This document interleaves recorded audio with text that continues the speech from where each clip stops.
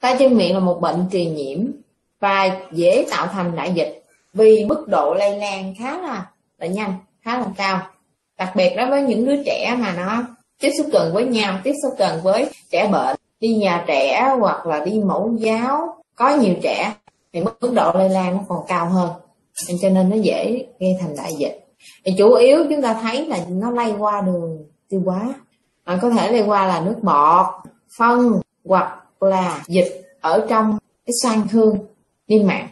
Thì người có rất là nhiều tiếp nhưng mà thường là A16 và enterovirus 71 ha. À, nhất là enterovirus 71 đây là cái tác nhân mà dễ gây nặng và trầm trọng.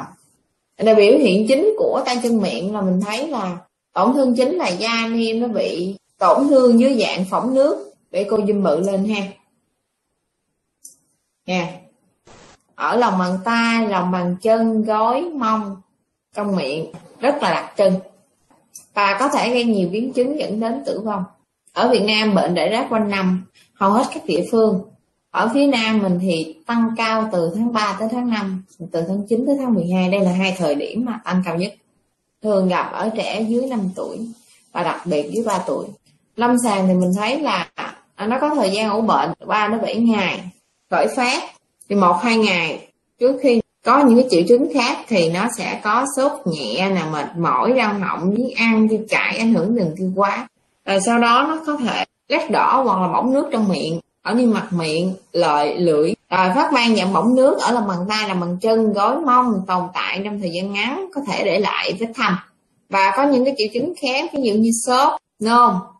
Biến chứng thường xuất hiện sớm từ ngày thứ hai đến ngày thứ năm của bệnh à, giai đoạn nuôi bệnh là trẻ hồi phục hoàn toàn nếu không có biến chứng. Có các thể lâm sàng là thể tối cấp. Thể tối cấp là mình biết là nó nhanh và nó nặng. Là dẫn đến những cái biến chứng như suy tuần hoàn suy hô hấp hôn mê dẫn đến co giật tử vong trong 48 giờ đầu. Thể cấp tính nó sẽ diễn tiến qua bốn giai đoạn điển hình. Như nãy giờ chúng ta nói. Và một cái thể nữa là thể không điển hình. Không điển hình là nó không có giống. Các giai đoạn mà chúng ta nói mà nó cũng không phải vô là nặng hơn. Nó có thể là có phát ban nhưng mà không rõ ràng lắm. Hoặc nó chỉ lét miệng đi. Hoặc là có triệu chứng thần kinh tim mạch hô hấp mà không phát ban không lét miệng luôn. Thì cái thể không điển hình thì cũng hay gặp lắm đó nha. Ờ, xét các, xét nghiệm cơ bản ờ, công thức máu crb đây là mặt cơ viêm. Chúng ta thấy trong thường trong giới hạn bình thường lý do là con này là con virus các xét nghiệm theo dõi phát hiện biến chứng à, mình coi là có hạ đường huyết hay không à, đường huyết như thế nào rối loạn điện giải hay không x quang phổi coi có tổn thương hô hấp hay không ờ, à, khí máu trong trường hợp suy hô hấp à, siêu âm tim troponin một trong trường hợp chúng ta nghi ngờ à, ảnh hưởng tới tim suy tim viêm cơ tim sốc vâng dịch não tủy. Khi chúng ta thấy có biến chứng thần kinh nhưng nói thì mình nói vậy thôi, nói cho các em dễ hình dung, dễ nhớ, dễ hiểu thôi. Nhưng mà cái chỉ định thật sự của dịch não tủy này, còn tùy theo cái lâm sàng nữa, chứ không phải đứa nào biến chứng thần kinh mình chọc giò dịch não tủy của trẻ hết. Bởi vì đây là một cái chỉ định xâm lấn, nguy hiểm à, cho hệ thần kinh. Chưa tính đến những cái biến chứng. Ví dụ như chọc giò những não tủy nhỏ, không có bệnh nhiều chân, mình bắt chọc ra. Rồi vô tình mình đem đến cái vi trùng cho hệ thần kinh của trẻ em rai. Em rai mình thấy là trong cái à, bệnh tay chân miệng này chúng ta thấy là tổn thương tập trung nhiều ở thân não. Xét nghiệm phát hiện virus thì chúng ta lấy bệnh phẩm ở họng tổn thương da niêm à, ở trực tràng dịch lá tủy để xét nghiệm để phân lập virus hoặc là à, làm cái test nhanh ở huyết thanh. Vậy thì chẩn đoán xác định thường chúng ta dựa vào lâm sàng và dịch tễ là nhiều nhất. Ít cái chú ý tới cái cận lâm sàng lắm. Cận lâm sàng thì mình phải học chỉ hỗ trợ. Coi thêm coi nó có mức độ như thế nào đó lượng nặng hay không. Ta chẳng đoán phân biệt trên rất là nhiều bệnh. Ví dụ như lát miệng, chúng ta chẳng nói với cái after. Là bị đạn đó mấy em after là bị đạn đó nha. After thì vết lét nó sâu, có dịch tiếp hay tái phát cái bị hoài. Số phát ban, hồng ban xen kẽ thường, có hạt sa tai dị ứng thì phải có tác nhân cơ địa người đó hay dị ứng chẳng hạn. Viêm da mũ sưng nóng đỏ đau. Có mũ nhiễm khuẩn huyết thì chúng ta thấy là nhiễm khuẩn huyết có rất là nhiều nguyên nhân. Nếu mà nhiễm khuẩn huyết trong não mô cầu, chúng ta thấy là những mảng xuất huyết ngoại tử trung tâm. Xuất xuất huyết thì rất là điển hình rồi. Xuất huyết da niêm, đa dạng.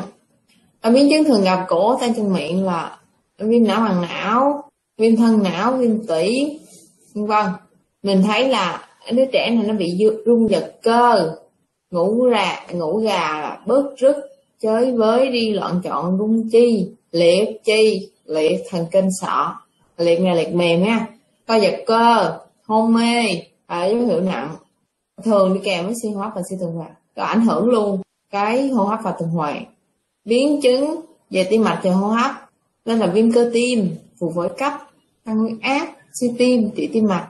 Mạch nhanh với đầu nhanh, sau đó sau đó nó bị tuột mạch huyết áp không đo được. Da nổi vân tím, đổ mồ hôi, chi lại thời gian phục hồi mau mạch lớn hơn 3 giây.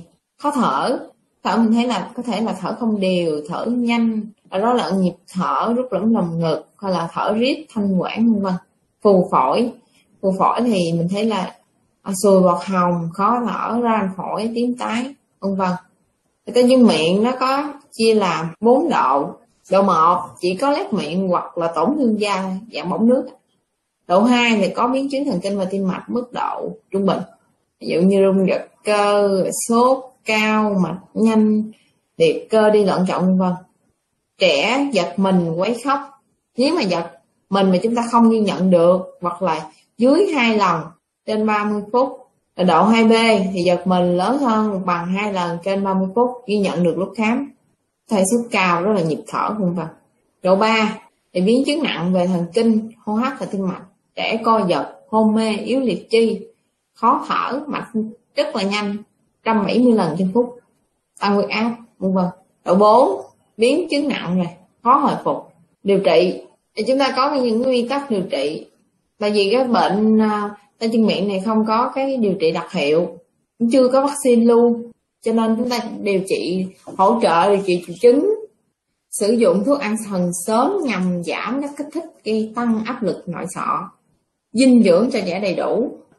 Cụ thể hơn thì nếu mà độ một ta có thể điều trị tại nhà, hạ sốt bằng bara vệ sinh răng miệng, nghỉ ngơi tránh kích thích. Và chú ý thì những đứa trẻ bị tay chân miệng này, đặc biệt là những đứa trẻ mà nó nổi bóng nước ở trong miệng á, thì nó sẽ kén ăn chảy nước miếng nhiều. À, đôi khi chúng ta lầm lẫn những đứa này chảy nước miếng mà chúng ta nghĩ là ở chắc trong giai đoạn đang mọc răng. Đừng có chế biến mặn quá cay quá chẳng hạn. Nếu mà nó đụng vô mấy cái vết bỏng nước một lấy ở trong miệng thì nó sẽ bị đau kén ăn hơn nhiều hơn. Chẳng giờ dấu hiệu nặng mà cần tái khám ngay. Ví dụ như sốt sốt càng cao càng nguy hiểm. Thở nhanh khó thở rung giật chi thấy là yếu liệt cơ ảnh hưởng tới thần kinh vân vân.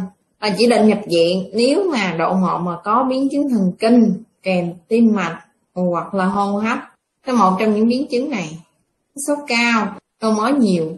Độ 2 thì chúng ta cho nhập viện điều trị à, như độ 1 tức là nếu có sốt thì chúng ta cho hạ sốt vân vân. Nằm đầu cao cổ thẳng thở oxy nếu mà có siêu hô hấp à, chống co giật.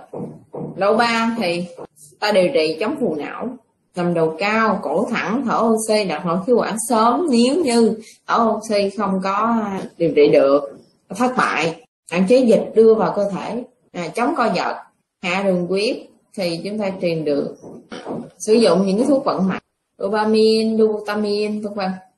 Càng độ càng cao chúng ta theo dõi càng sát. Độ 4 thì điều trị tại bệnh viện trung ương. Nếu mà có điều kiện có thể điều trị ở tuyến tỉnh kháng sinh khi có bội nhiễm. Tức là kháng sinh không phải là chỉ định điều trị trong tay chân miệng cũng giống như tiêu chảy vậy mấy em. À, tay chân miệng mà bội nhiễm chúng ta mới điều trị kháng sinh. Phòng bệnh chưa có vaccine cho nên phòng bệnh chủ yếu là chúng ta uh, hạn chế lây lan thôi.